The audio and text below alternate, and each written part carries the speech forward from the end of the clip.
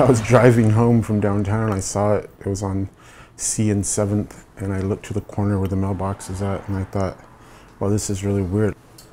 And then I got out, and I knew what it was right away, so I took it. I didn't know what kind of instrument it was until I got home. I've been playing the cello since I was 10.